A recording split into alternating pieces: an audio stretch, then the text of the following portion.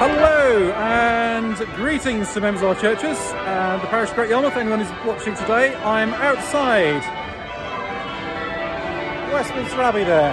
Hopefully you can hear the joyful sound of bells. It's Friday, 29th of September. It's the feast of Michaelmas, St Michael and all angels, and um, just been to the consecration of Bishop Ian Bishop, who has just uh, been ordained a bishop to serve in the Church of England. Will be uh, now commencing his ministry as the Bishop of Thetford. And there's a lovely lot of people from Norwich, some whom with me here. There we are. A little wave there. It's all very joyful.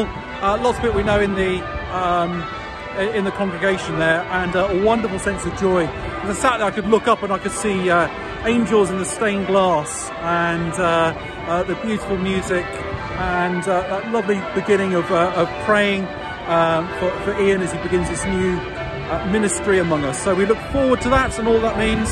I'll give you another moment to enjoy the bells of Westminster. And take care, see you again soon.